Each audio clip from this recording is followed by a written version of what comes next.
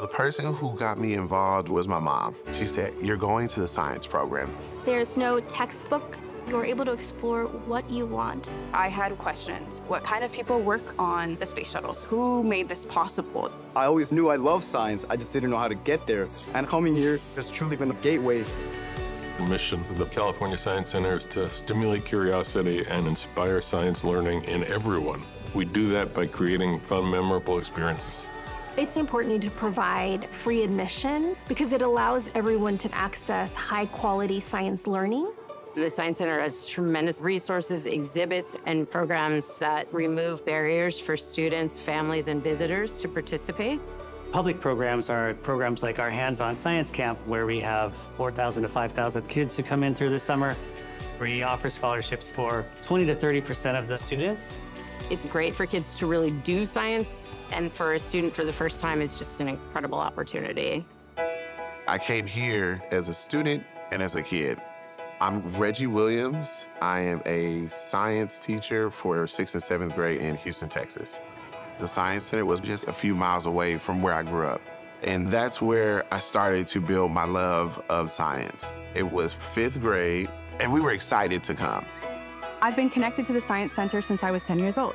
My name is Claudia Pineda. I am currently a flight test engineer at Boeing.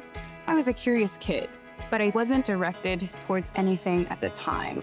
When I got to the Science Center, I was taught the actual application of how science is around us in the world, and that's when it gave my curiosity more direction. Science isn't pushed within K through 12 education, so the thing that kept me coming back was really the environment of learning. And then as a teen, I started doing the teen internship program. There is a whole community of teens here. We work in various exhibits. We do shows in front of groups. No day looks the same. My name is Delilah Torres, and I'm a community intern. I've been coming here since I was a baby. I grew up with a single mother from an immigrant household. We applied for a scholarship, and I was able to attend camp from kindergarten to eighth grade. I then matriculated into the Young Curators program, and now this internship. We do activities, we do experiments, we get the best reactions. My name is Saul Uriel Lopez, and this is my second year as an intern here at the California Science Center.